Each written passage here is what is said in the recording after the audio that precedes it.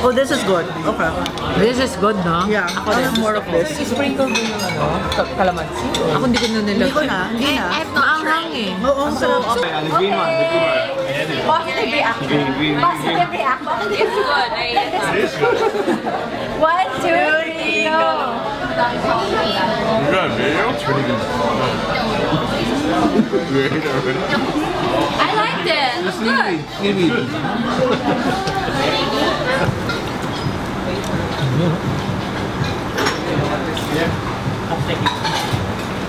Yum yum. You like it? Yeah, but in mine wasn't there. Okay, great, it's great. Hmm.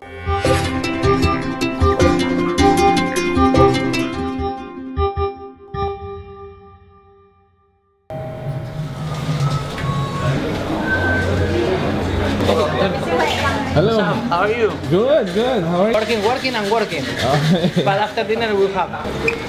Do you know? Hello. Hey, Hey, man. How are you? How you doing? Good, to see good. you. Good to- See, if you cannot come to Bangkok, you can come. I have to come to Philippines. Yeah. So, cheers for you.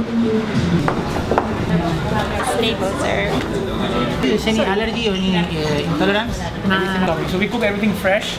Uh, we'll take our time. You'll experience something that most of the things you will be eating in the beginning with hands. I'm not served any spoon and fork because I believe uh, we are losing a religion in Asia because our religion, my religion, is cooking and eating, and uh, all we all we do is we we go too too Frenchified. Everything we need is spoon and fork and things like this, which actually actually we lose the the whole texture of the food. We don't feel the food. We don't feel the temperature of the food. And that's why what I've done is uh, in our restaurant back home in Bangkok, made menu 70% and go 90% eaten my hands. Okay, and uh, I have not adjusted any spices to your taste. I've done what I do in Gaggan, and um, the dishes here are very simple. They are first few inspirations from the street. Some of things I stole from Chele's kitchen, and uh, which he would know not know today, but after five days he'll say, "Where the hell is that?" so, cocoon-looking thing. Okay, Chef Chele's uh, chele bomb, which is uh, I call chele bomb, and it's got spiced uh, cream in it. So you eat it, it's like you get the flavors of India. That was a rice puff, which has been taken. Rice puff, which is with the pani puri, the spiced water moves inside. Again, that was street food. Yeah, that was a combination from uh, Chele. Chele. Chef Chele has done the rice puff, and then the pani puri moves has been done by Chef Gaggan. So it has been combined together, cross culture. Second would be the yoga. But just be careful lifting the spoons. Just, just pick up like carefully. Sometimes it slips out. Yes. Okay. Yeah. entire thing into the mouth? Yes. Ooh, looks good. yeah. Okay, I am super clumsy, so I feel bad. you know what? Hell, yeah, yeah, there. Okay. Like, I'm, I'm like, okay, Yeah. no one's getting. I should serve you first. Mm. It just explodes. Yeah. Yeah. Did you try? Very nice. And then the edible plastic bag. Please don't tear the bag. We'll charge you two times if you tear the bag. So, so just have to eat the bag. You And this is the spice nut bag. You're supposed to have it like that in one go, without opening the bag. Okay. So your next course is uh, I had fun in your restaurant, in, in your country actually, not in the restaurant. But in the restaurant they had some uh, adobo powder made. So they made adobo powder, and when I tasted it, I said it's amazing. So uh, we were actually creating a lot of dishes, and that's what cross culture is about, where I come, get inspired. Identity of some dishes were in a way that we come, we adapt, we use only the local produce. Nothing we bought except some spices. Like five spices you can count. You can smell them actually. that means I cook. Actually I rubbed it and showed cooking. so uh, so all these things were from here. So that's why we saw the adobo powder. So what we did, we have a, a dish in our restaurant called Bengali mustard in some cookie, false cookie. But what we did was we put some seaweed, which is very ingenuous to here. You know, it's seaweed powder and adobo in that cookie. So it's I'm combining adobo, which is vinegar, and garlic with Bengali mustard, which tastes like wasabi, and with cookie. A cookie which is not baked, but with seaweed. So you know, this is what is all cross culture about, where we inspire. That's why I said that the menu was printed at 5:30, 6 o'clock, because we were still changing. We were still changing. It's all about experimental. As I said, these are not any referential dishes. These are all fantasies of our restaurant. So. papadum in a Tapioca.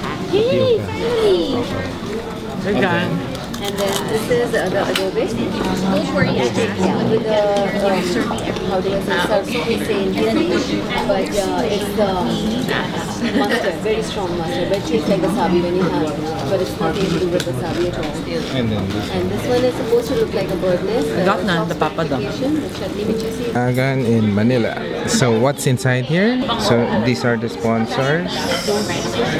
Discovery Primea. A gift from Breville. Scavolini store. Let's see. What? Scavolini. What's its perfume? Of course, San Pellegrino. Yes, fine dining lovers at home. No, even we get unis from from Philippines, not from Japan. That's a new thing in Japan. And I, of course, you have a lot of good tuna. So uh, what we created was I called it ceviche for you to be more familiar. But actually, it's a very simple Indian dish. If you take out the fish, it's Indian. If you put the fish, it's ceviche. okay, it's very it's like an Indian salad, like very similar to Thai papaya salad, or it's a tangy, yummy, spicy salad that you'll have. There are two versions. One is with the tuna, and one which is in like the urchin, like the urchin bowl itself. And the urchin is basically more Japanese because I go to Japan every three months, two months, and I'm cooking there nowadays a lot. And uh, this one is my my fantasy about Japan.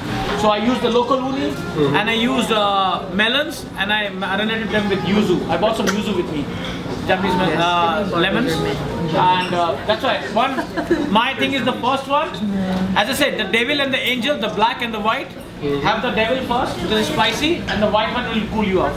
Station from uh, wood, and uh, mostly things that we see in the forest that grow, and the most expensive things that actually grow in the forest are wild truffles, morels. Yeah. So we made this inspiration. The log that you see is made of mushrooms. Yeah, that's not not this log, but the log, the small one.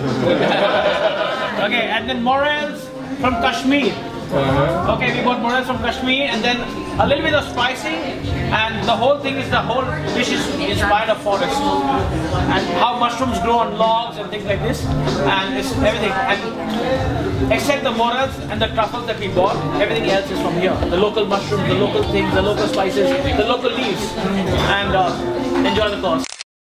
Next dish is a, a charcoal. It has the philosophy of what we did yesterday, and she will tell you what exactly it is. But uh, the whole uh, dish is a very Filipino dish.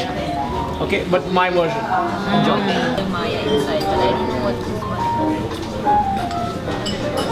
If I try to guess this dish, Hindi naman yan. I don't know. What is this? Fish eh. Is it Any bangus? guesses? Bangus. Milkfish? No. Lapu-lapu? It's a Maya fish. Maya? Maya Maya. Maya Maya. Yeah. I should have just carried on a bit though. so it is with the bamboo charcoal outside with Indian spices and the charcoal powder as well is made out of Indian herbs. And it's a fermented batter completely. Like not tempura, but yeah, Indian tempura batter, you can say. Yeah. Fermented. What is fermented mean? I can't like it's in India we make a dessert out of it, but here he did not add the sugar bit and it was in a savory form. Oh, okay. Did you guess what was in the charcoal? Maya Maya.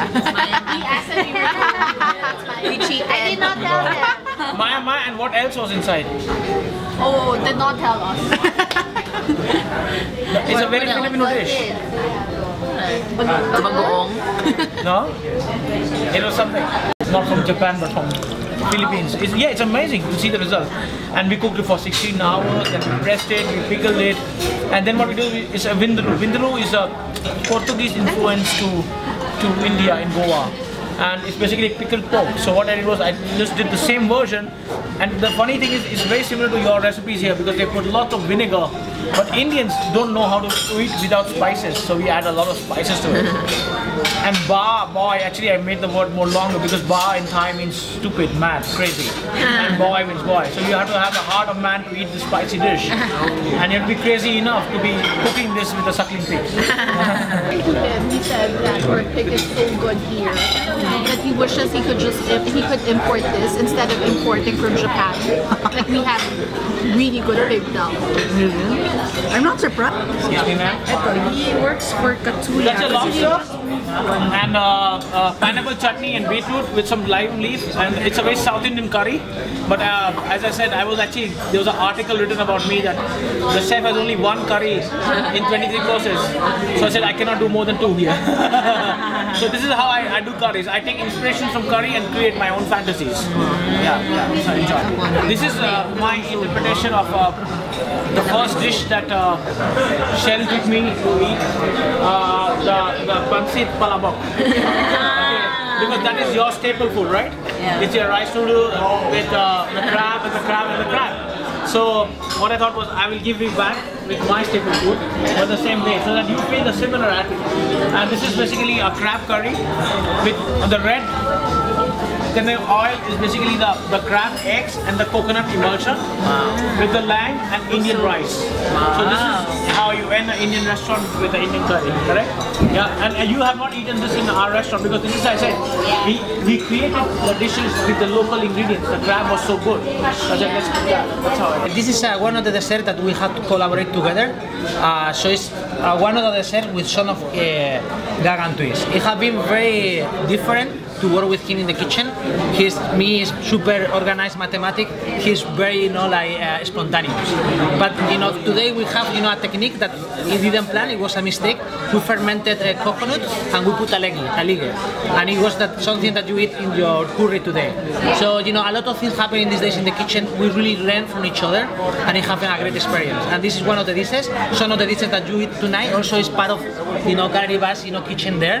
So here we have a, da, a pili nuts praline, pili nuts, uh, dalandan mousse, dalandan uh, meringue, and then they put uh, yuzu uh, ice cream. And that's it. Okay, very light, light clean, uh, light to clean the palate. Okay, Cross cultures one, huh?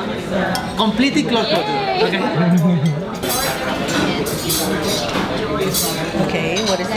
The last one are the Filipino mangoes, which have been marinated with yuzu. You know, the, like Indian sweets have silver on it. And the ice cream is made of sake kasu, which when you saw in I was in Japan, I got the sake kasu in the freezer and I bought it in the freezer here. It's good. I have a question. How did you come up with, with all these dishes? Two days. Amazing. Yeah, yeah.